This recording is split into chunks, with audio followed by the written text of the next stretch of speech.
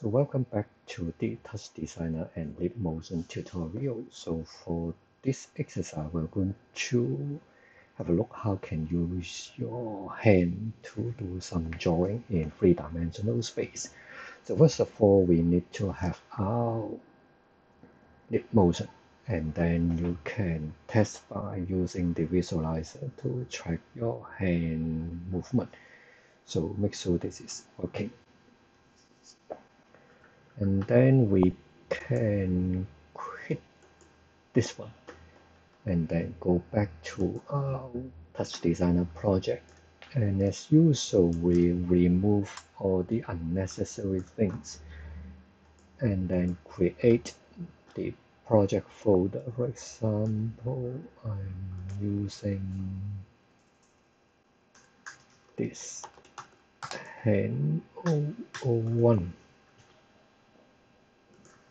then we name it with the hand test hand 001 project folder. Save it.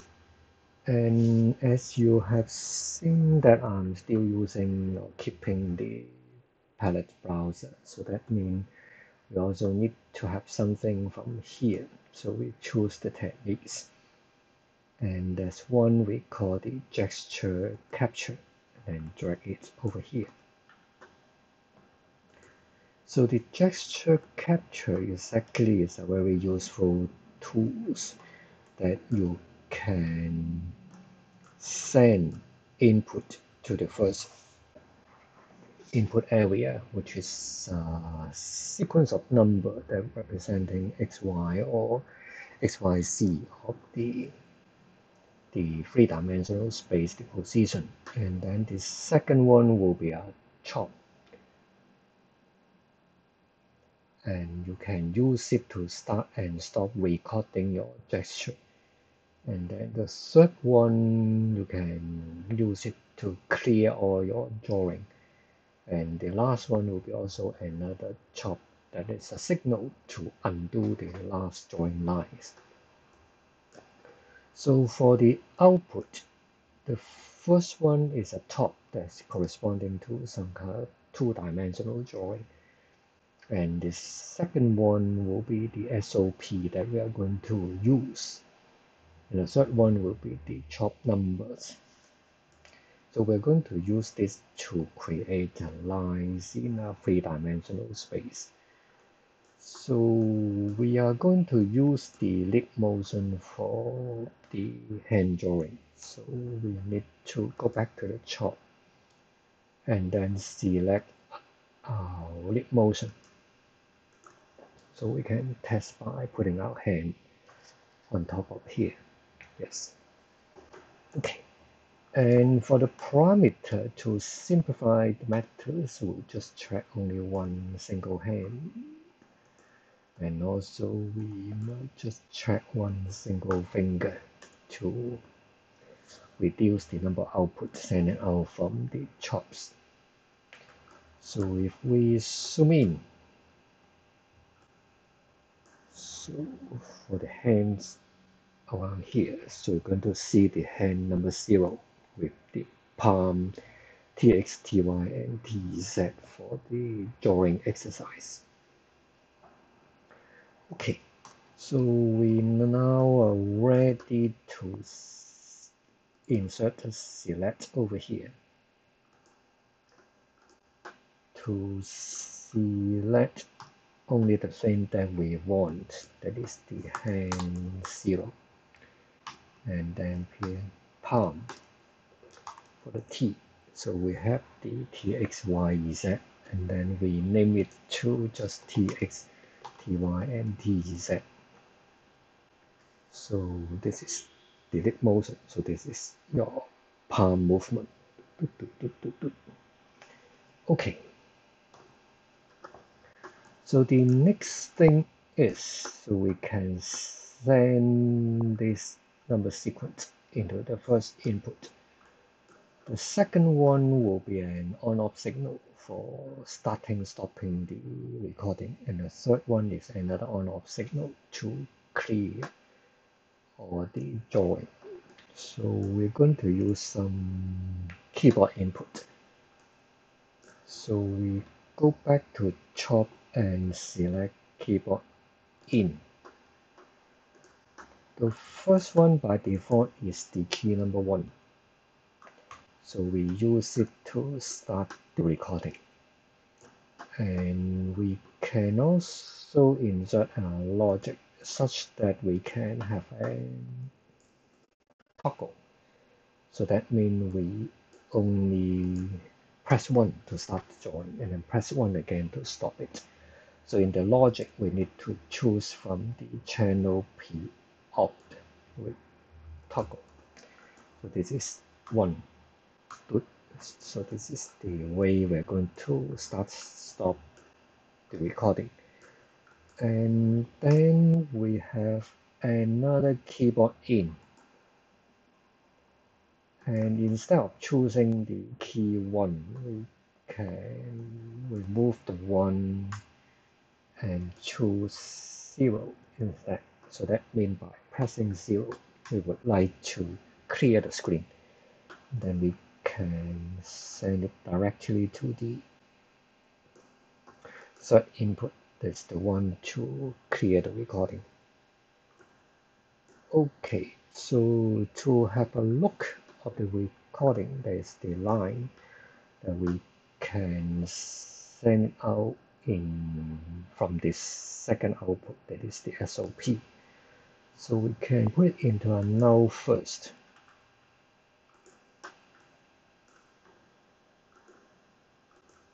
For a very simple testing, so with this leap motion around here and then you can press 1 to start the recording then you can put your palm on top of here you can more or less see something moving in the null SOP and then to stop you press 1 again and to clear the drawing you press 0 so this is the basic logic so the Next step is we try to visualize the 3D drawing. It's already here. For visualization of 3D, we go back to our usual practice to have a geometry. And then we have lighting. And then we have a camera. So after that, we perform a render from the top and then pass it to the output window. You might also find that for the render, it automatically linking to some invisible geometry from the gesture capture. So we, we just want to visualize from the geometry one, you can choose from here to type in geometry one. And then this is the only place that you would like to show your 3D graphics. In geometry one, I perform the usual step to delete this donut and to insert and input SOP and also remember to turn on the display and render flags over here in the bottom right corner. Go back to the project one and we are now ready to send our 3D graphic directly to here.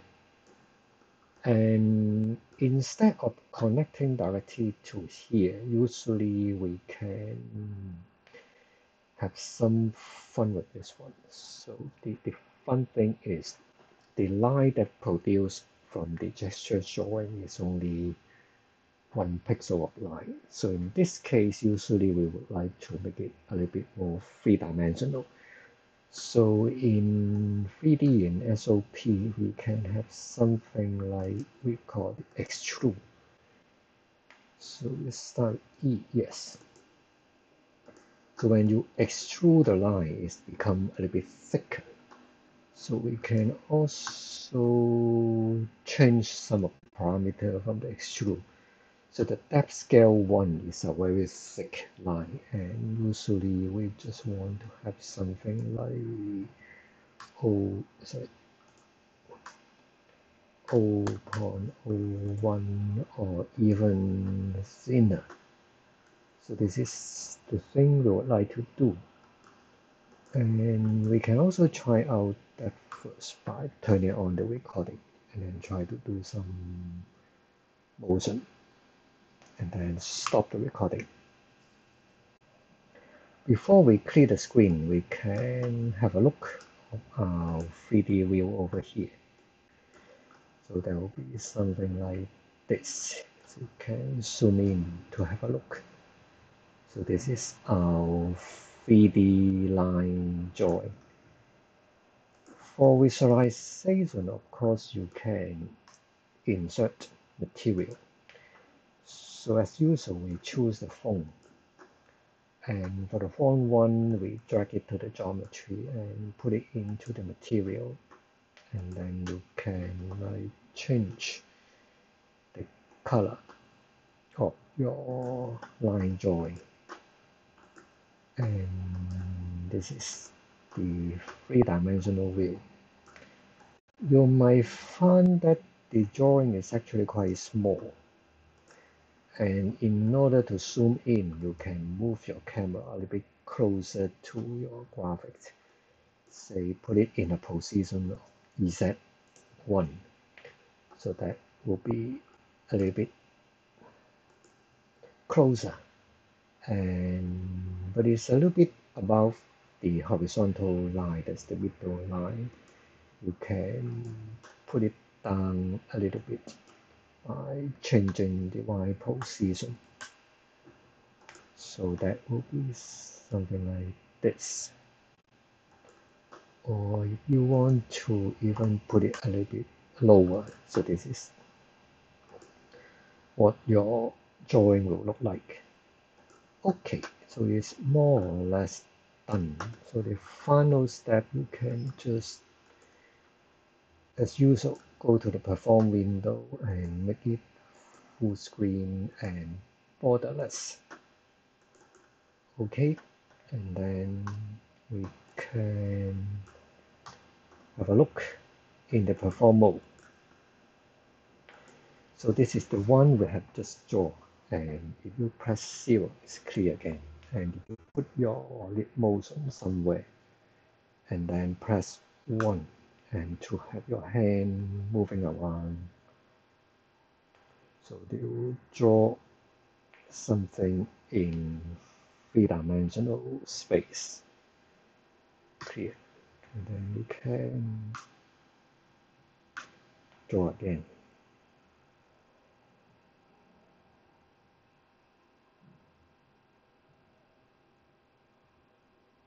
Okay, so this is done your three-dimensional drawing. And if you want to, you can add a little bit more sophistication into the three-dimensional shape by rotating the whole structure slowly. And in this case, you can choose to chop with the bit and slow down it to like period 960 or even 100 and then convert this sequence of number by using the mathematics. And change the range from 0 to 1 into 0 and 360 so that will be the rotation in the y-axis and if you want to you can insert and then null chop. And click on the geometry. Turn on the viewer active and drag this one to the Y rotation. Export. So in this case your whole drawing will be rotating. And then it have a little bit more three-dimensional spatial sensation.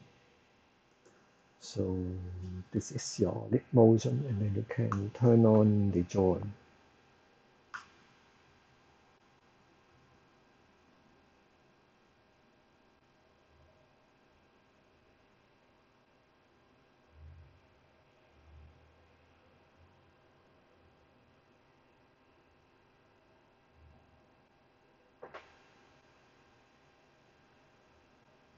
Okay, so this is the drawing you have done by moving your hand on top of your leap motion in a three-dimensional space.